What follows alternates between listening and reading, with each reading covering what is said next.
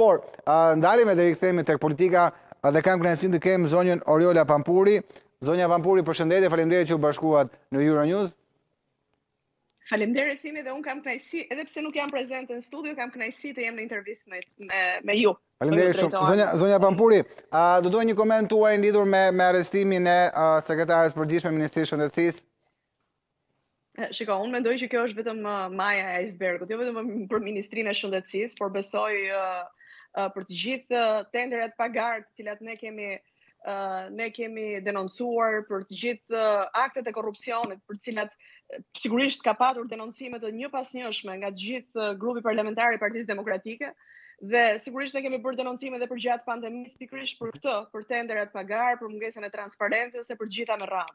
Dhe kjo është vetëm maja e ajsbergut, të jem e sinqertë, mhm. sepse besoj që nëse drejtësia do të bënte punën ashtu siç duhet, sikurse lë pak për të dëshiruar dhe nga fakti i një vendimi të marrë dje kundrejt ish-ministrit Saimir Tahiri, sigurisht që nuk do të ishim këtu ku jemi Thimi, por besoj që drejtësia po ecën me hapa shumë të ngadaltë dhe ndoshta nuk nuk po bën atë që duhej të bënte uh, për t'i dhënë në një farë mënyre shpresë këtij vendi. Vetëm drejtësia do t'i do t'i japë shpresë këtij vendi. Me, meqë përmendët vendimin për uh, lirimin e Saimir Tahirit, pse pse e kritikoni atë? Uh, le të them janë përmbushur gjitha kriteret ligjore që zoti Tahiri të dilte uh, në arrest shtëpie, pra të, të, të bënte pjesën e mbetur të dënimit në në në, në arrest shtëpie. Shiko, Apo i referoheni dhe deklaratës së ambasa, ambasadores amerikane Yuri Kim? Absolutisht i referohem deklaratës së ambasadores amerikane Yuri Kim dhe absolutisht i referohem dhe faktit që uh, ka qenë një ish ministër i cili falë të cilit është uh, kemi përmendur uh, trafikun e drogës uh, jashtë Shqipërisë, brenda Shqipërisë mbjelljen me me me me parcela hashashi nga nga veriu në jug të cilat kanë ndodhur të gjitha gjatë kohës që ka qenë uh, ministër uh, Saimir Tahiri. Kështu që uh, vendime të tilla, të cilat gjykata i merr dhe sigurisht dhe kjo, e cila ishte për sekretarin e përgjithshëm për uh, sekretaren e përgjithshme të Ministrisë së Shëndetësisë, e cila me sa dëgjova për për një ryshfet, ndërkohë që ne kemi denoncuar tendera pa garë, pa fund përgjatë pandemisë e të tjera me radhë, unë do doja që të kishte ky vend të kishte uh, drejtësi të vërtetë, dhe ky vend të bëhej një ditë pikërisht nga drejtësia, sepse vetëm drejtësia do ta çonte do t'i jepte motiv dhe shpresë shqiptarëve të jetonin të lirë në këtë vend. Okej, okay, zonja Pampuri, uh, faleminderit për këto komente lidhur me këto dy zhvillime të fundit, por dua të kthehem pak tek tek politika. Uh, do doja një një koment tuaj lidhur me me rishfaqjen e zotit Lulzim Basha. dhe tentativën e tij për të rimarrë drejtimin e Partisë Demokratike. Ju jeni nga ato deputete që e mbështesni këtë, këtë lëvizje të Zotit Basha, apo jo? Zoti Basha ka dalë në një në takime me qytetarë me të rinj kryesisht, kanë qenë takime me të rinj. Uh, unë mbështes uh, faktikisht që të jemi uh, korrekt, unë mbështes zgjedhjet e menjëhershme në partinë demokratike. Kemi pritur uh, shumë, Kemi pritur 2 vite, që nga 9 shtatori para 2 viteve e 2021-shit e deri sot, besoj që ka qenë kohë e mjaftueshme për të ftuar këdo i cili donte donte këtë bashkim. Nuk mund të ketë bashkime, nuk mund të ketë bashkim mekanik thimi. Mm -hmm. Nuk mund të dalim nëpër studio dhe të themi bashkimi, bashkimi. Si do të realizohet ky bashkim? Kemi 2 vite që ofrojmë të gjitha mundësitë për të qenë të bashkuar në logon e Partisë Demokratike. Dhe ndërkohë që ne ofronim uh, platforma, mundësi që të kishim këtë këtë lloj zgjidhje, nga ana tjetër kishim uh, kishim linçime, anatemime, kundërshti, uh, deri në faktin e fundit ku nuk pranuan që kandidatët e primareve dhe pse mhm. ishin uh, diku të papranuar nga ne sepse ishte një zgjedhje e njëanshme nga pala tjetër, pavarësisht kësaj, për hir duke hedhur përtej uh, interesat personale, uh, neve Ishim në ishim në ofertën që këta kandidatë të vinin dhe të kandidonin në logon e Partisë po. Demokratike. Nuk u pranua, madje u, pran, u, u, u pranua më mirë që këta kandidatë të shkonin dhe të bashkoheshin me një parti e cila nuk kishte qasje, nuk ka qasje të djathtë, jemi koshientë dhe jemi të vërtetë në këtë që themi, duke lënë gjysmën tjetër të demokratëve, sigurisht në qoftë se të pa, të pabashkuar. Dhe unë e kam thënë edhe më parë, ë uh, E gjithë kjo është bërë deri në minutat e fundit derisa janë janë dorëzuar listat me emrat e kandidatëve. Nuk vendosëm kandidatë në shumicën e bashkive. Ë sigurisht duhet të ishin tërhequr dhe dy kandidatët e atij grupimi, të cilat sigurisht në qoftë se do të ishin tërhequr, do të kishin fituar kandidatët e Partisë Demokratike, nuk ndodhi, pra dëshira dhe gjithë mundësia që i kemi dhënë për t'u bashkuar, ka qenë e njëanshme. Pala tjetër nuk pranoi bashkimin dhe unë këto kam thënë dhe më parë. Ata të cilët nuk pranuan që kandidatët të uh, kandidojnë në logon e Partisë Demokratike, sigurisht që do mbajnë përgjegjësi për humbjen. Po sigurisht nuk kam menduar që humbja do të ishte kaq katastrofale sa ç'ishte, thimi. Po, meqë meqë përmendët, nuk e kishit menduar si moment, do, do ishte kaq e tillë, kaq e thellë humbja, le të themi koalicioni Bashkë Fitojmë, akuzon blerën qeverinë për blerje votash, e gjithë skenarët e tjerë, por, natyrisht lind pyetja, të gjithë ju, opozita e dinit, kë kishit përballë. Pra nuk, nuk besoj se është justifikim fakti që qeveria do bënte këto gjërat sepse diheshin. Pra ju të paktën kur hyni kur hyni në garë, i merr e keni marrë parasysh se nuk është hera e parë që ndodh kjo gjë. Pra po cili është justifikimi i humbjes?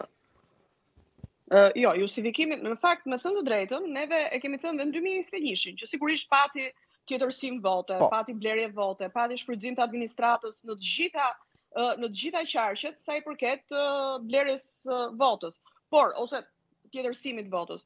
Kjo nuk diskutohej dhe e dinim shumë mirë se kë kishim përballë. Kishim përballë një mjeshtër të tjetërsimit të votës siç është Edi Rama.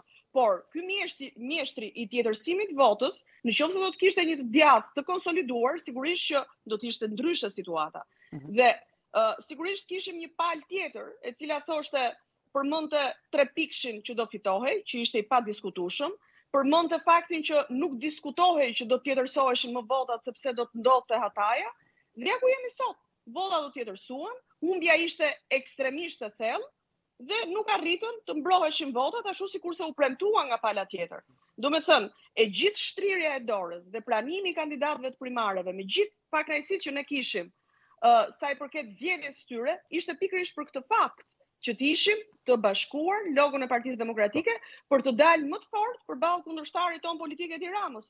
Nuk u pranua dhe kjo është fakt tashmë dhe përgjegjësinë e mbajnë ata që nuk e pranuan, sepse ne tentuam deri në sekondat e fundit. Ndërkohë, i gjithë ky kjo pasiguri, kjo paqartësi ngjalli dhe ë si t'thuash ambiguitetin dhe mospranimin ose refuzimin më saktë të 200 mbi 250 mijë po. qytetarëve të cilët nuk pranuan të votonin.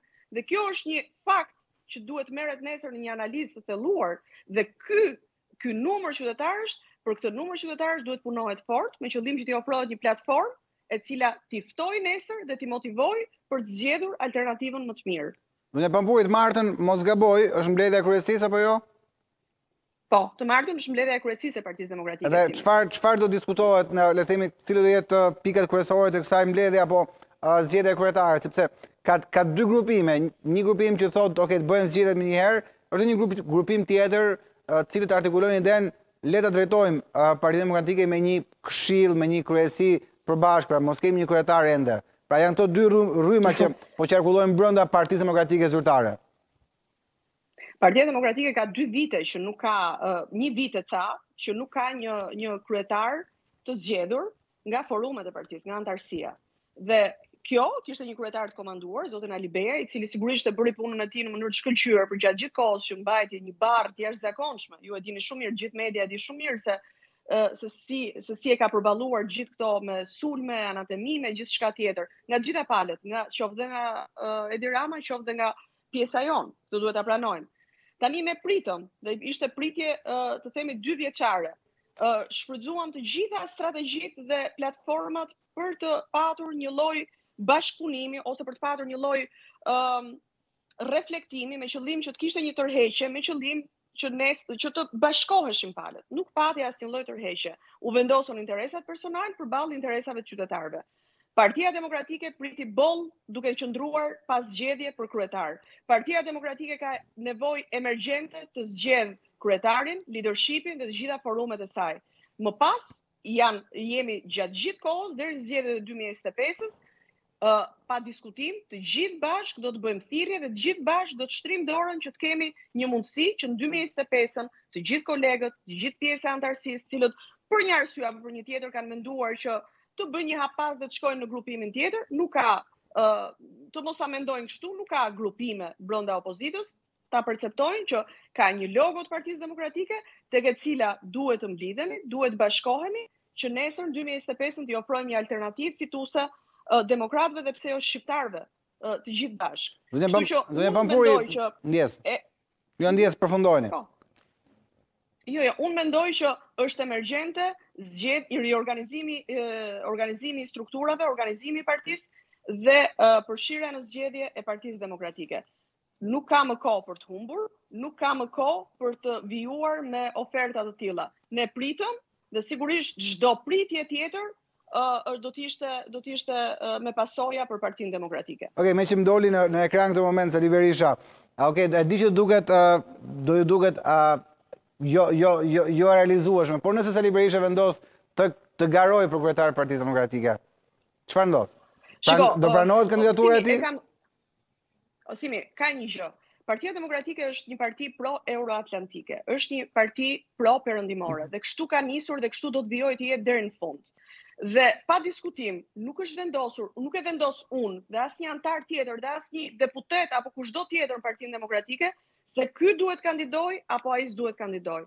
Të gjithë ata të cilët kanë një qasje pro-euroatlantike dhe kanë një mbështetje dhe nuk kanë probleme me ah, Shtetet e Bashkuara të Amerikës, me Perëndimin, me Britaninë e Madhe, edhe një pra. gjë tjetër. Pra, jo, jo vetëm qasje, por edhe probleme, sepse qasjen pro, po, pro-perëndimore Berisha e ka. Jam pro-europian, po, por ka problemet. Po, o, thimi, duhet të jemi të qartë për diçka dhe mos fshihemi prapa gishtit sa herë që flasim. Doktor Berisha ka patur sigurisht ka qenë ai i cili ë ë një do të themeluesi kryesor i Partisë Demokratike para 32-33 vjetësh. Dhe këtë nuk mund ta mohojmë. Problemi qëndroi dhe nisi nga momenti që zoti Berisha u, u shpall non grata nga Shtetet e Bashkuara të Amerikës. Dhe kjo është pengesa, dhe nuk ka asnjë pengesë tjetër, as mosha, as absolutisht fare, secili ka, ka madje përkundrazi, secili është mund të jetë shkollë për mm -hmm. për për të gjithë të tjerët në parti, por ajo që mund ta pengojë këdo është korrupsioni dhe problemet që mund të kesh me Shtetet e Bashkuara të Amerikës dhe me Bashkimin Evropian. Ne nuk mund të izolohemi nga Perëndimi. Ne nuk mund të izolohemi nga Shtetet e Bashkuara të Amerikës, është aleati ynë strategjik dhe nuk mund ta bëjmë këtë. Kështu që në Partinë Demokratike janë të lirë të kandidojnë, jo se e vendos unë, po kështu po. është faktikisht, të kandidojë çdo person i cili është i pastër në gjitha këto pika. Pra Berisha Berisha përjashtohet. Me deduksion Berisha, jo, e them unë, pra me deduksion, nëse marrim në analizë të gjithë këto këto kritere, Berisha përjashtohet.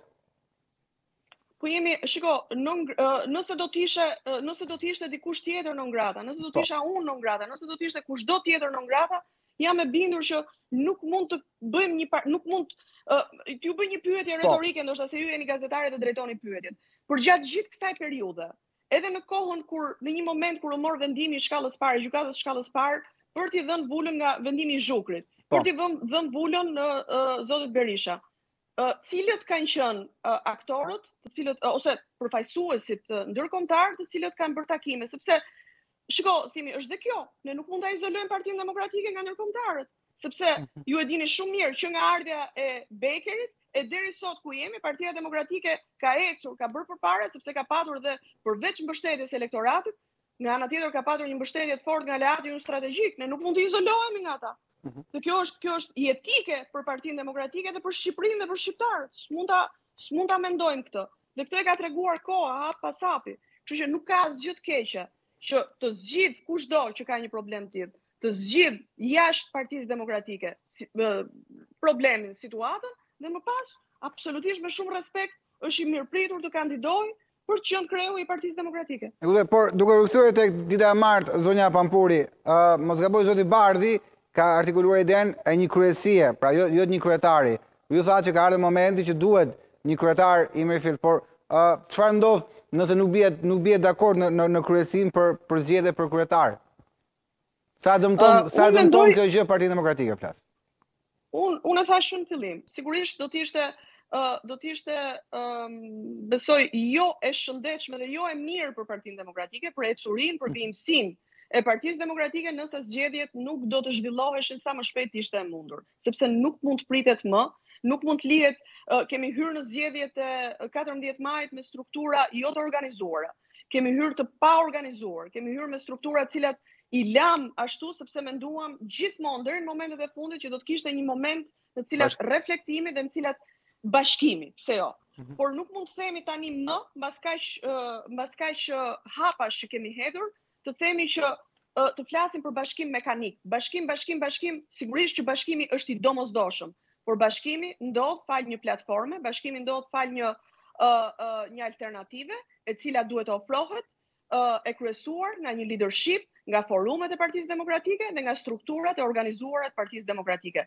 Kështu funksionon një parti dhe kështu duhet të funksionojë sa më shpejt jetë e mundur. Kjo do të jetë, ky do të jetë diskutimi në kryesi, Dhe besoj që do të bien dakord pjesa më e madhe e kryesisë. Unë jam da, jam mm -hmm. besim plot për këtë se, sepse nuk nuk mendoj që nuk mendoj që pret më koha t'i lëmë strukturat e Partisë Demokratike të paorganizuara dhe të lëmë Partinë Demokratike pa leadership. Zonja Pampuri, uh, nëse shkohet me, me këto kushte, me, me këtë situatë, pra okay, ju e zgjidhni kryetarin, uh, arrini të të ristrukturoni strukturat, t'i ringrini strukturat, por vijoni sërish të jeni të përçarë. Sa janë shanset që në 2025-ën Partia Demokratike të fitojë zgjedhjet? Uh, Fimi, unë nuk mendoj që do të vijojmë të jemi kaq të përçarë. Sigurisht do të ketë pakënaqësi, mund të ketë, dhe këtë nuk mund të nuk mund ta mohoj dhe nuk mund ta ta them sot, mund të mos ketë fare. Mhm. Po mund të ketë. ndonjë pakënaqësi. Po kjo përçarje në të cilën hymë me këtë përçarje, me të cilën hymë në 14 maj, jam e bindur u përfshim në zgjedhje, jam e bindur që nuk do jetë. Sepse në momentin që ofrohet një alternativë, në momentin që partia është e strukturuar, në momentin që ka një leadership, në momentin që punohet çdo ditë deri në 2025-ën për të takuar, për të ofruar, për të motivuar, një alternativë të mirë, bindëse dhe motivuese për edhe për ata 250.000 votues që nuk dolën të votonin, unë jam e bindur që gjërat nuk do të jenë kështu. Pastaj për ata të cilët mendojnë për interesat personalë, përballë interesave të shqiptarëve, janë shqiptarët që gjykojnë në fund. E kuptoj, zonja Pampuri përmendi shpesh herë 250.000 qytetarë që nuk kanë dalë për të votuar. Tani Berisha po. ka teorinë e tij që atyre i kanë marrë kartat dhe nuk janë lënë të votojnë, ose kanë ikur, ose nuk e di, një mijë e një arsye, por sa fajtor është vetë vetë opozita, sa fajtor është partia demokratike, që nuk kanë dalë ata, ata qytetarë në votime. Përpos gjithë presion, presionëve. Shiko, neve... presion, ata qytetarë, shiko, qytetari e para një herë, qytetarë mbi të gjitha përpara se të jenë përfshirë në politikë, qytetari jam unë, je ti, po. dhe sigurisht kur shikon një, kur shikon një klasë politike, një një një pjesë të klasës politike, të opozitës, të cilët janë të pavendosur se ku do të shkojnë dhe presin se nga do të anojë peshorja, sigurisht që ka uh, një klasë qytetarësh pastaj që edhe ata janë ambig dhe thonë, po mirë, kur ata kanë pasiguri, pse duhet të shkoj unë? Po. Të, të votoj një klasë opozitare e cila është e pasigurt. Ekziston dhe kjo, mm -hmm. sepse kishim zgjedhjet në të cilat ju e patë shumë mirë që në qoftë se do të ishim të përfshirë të gjithë qoftë dhe për këshillat bashkiakë vetëm, edhe pse s'ka sens. Ë uh, edhe pse do të ishim duhet në qoftë se do të ishim të përfshirë të gjithë, jam e bindur që do të kishim rezultat akoma dhe më të mirë dhe do të kishim fituar edhe më shumë besim tek votuesit. Po për sa kohë kishte një lloj, jo një lloj, por kishte ambiguitet brenda uh, kësaj këtij grupi të opozitës që të shikojmë se si do shkojmë, se ndoshta fitohet andej dhe ndoshta këtej nuk funksionohet kështu në politikë, Thimi. Në politikë ka beteja dhe sigurisht secili prej nesh ka perceptimet e veta, nëse kjo betejë është fituese apo jo. Mhm. Sidoqoftë beteja, çdo politikan që i ka nisur këtë rrugtim duhet të përfshihet në këtë rrugtim. Kështu që tërheqja dhe pritja se si do të shkojë situata nuk i përket një politikani të mirë, mendoj mhm. unë. Pastaj ky është mendimi im dhe perceptimi im.